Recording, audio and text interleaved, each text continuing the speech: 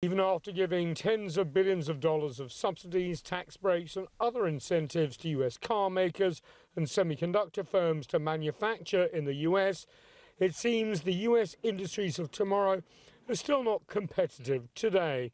The latest tariffs against China imports include steel and aluminum, semiconductors, batteries, critical minerals, solar cells, and cranes worth about $18 billion.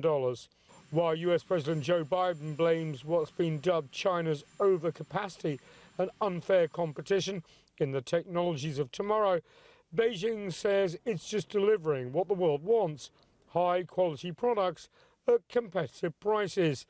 The Chinese Foreign Ministry says the fast growing Chinese new energy industries are what the world economy needs for a green transition.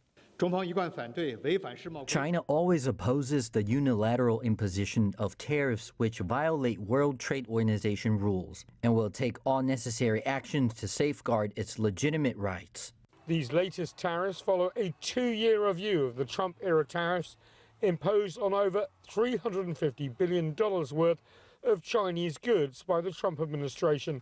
Those tariffs have remained in place throughout Biden's first term as president and he has added severe restrictions on the export of high end semiconductors and other vital technologies to China.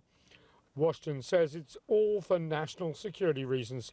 China says it's all about stopping China's rise. The Chinese Commerce Ministry urged Washington to stop its unilateralism mentality, adding that the move is exacerbating the tensions between the world's two biggest economies. President Xi has just wrapped up a European tour where he announced EV ventures in Hungary and a willingness to work with European leaders.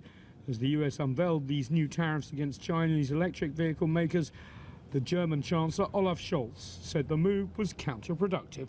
Allerdings möchte ich darauf hinweisen, I would like to point out the fact that currently 50% of electric vehicle imports from China come from Western brands that produce them there themselves and export them to Europe. We should not forget that European manufacturers, even some American, but European manufacturers are successful in the Chinese market and also sell a lot of vehicles produced in Europe in China.